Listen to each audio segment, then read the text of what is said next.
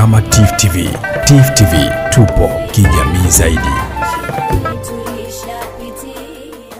ambayo inaweza kutoa msamaha.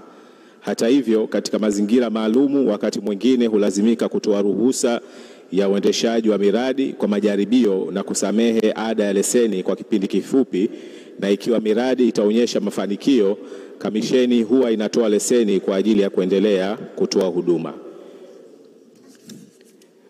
Kodi ambazo kamisheni imepewa ruhusa kisheria kukusanya katika sekta ya utalii ni leseni za miradi ya utalii, ruhusa ama permit za gari, vyombo vya kuchukulia watalii na vitambulisho vya watembezaji watalii. Mbali na utoaji wa vibali vinavyotolewa na Wizara ya Ujenzi, Mawasiliano na Uchukuzi kwa gari zinazobeba watalii, Kamisheni ya Utalii huwataka wamiliki wa kampuni za watembezaji watalii kulipia huduma ya uchukuaji wa watalii hao katika gari zao kila wakati inapotoa huduma hiyo.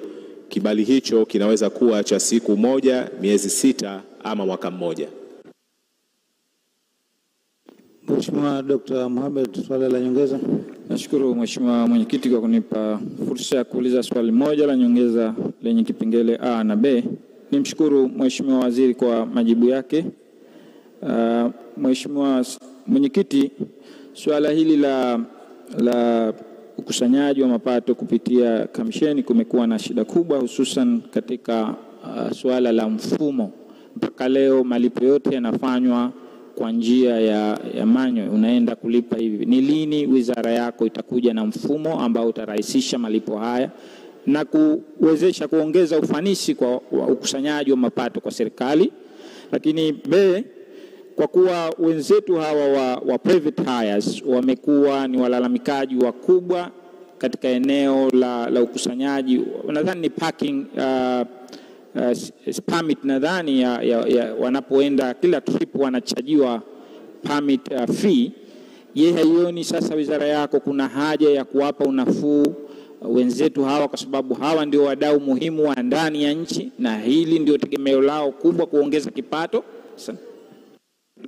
Mheshimiwa Waziri, majibu.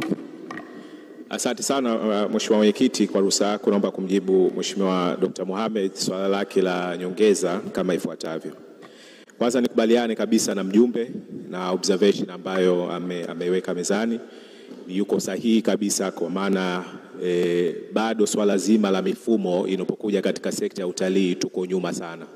Ni sehemu chache sana ambazo zimerasimishwa katika uwekaji wa mifumo na ndio maana kunakuwa kuna mianya na upotevu mkubwa sana mapato ya serikali. Kwa hiyo hilo liko sahihi kabisa kama ambavyo amelielezea hapa.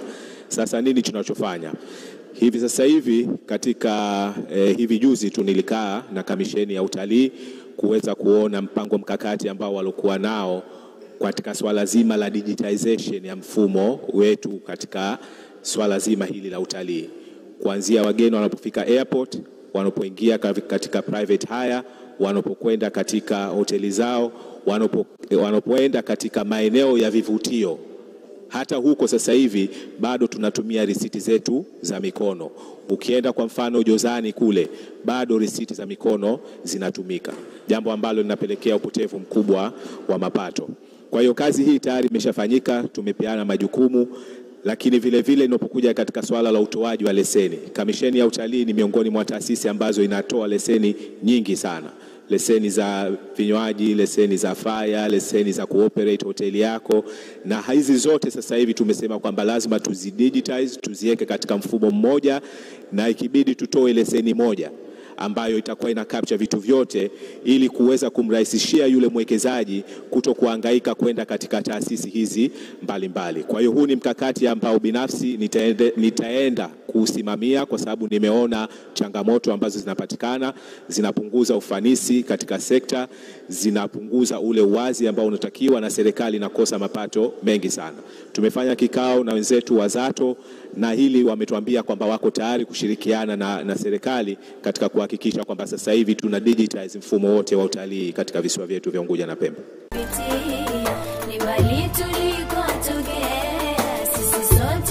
tukiwa kama Tifu TV. Tifu TV tupo kijamii zaidi.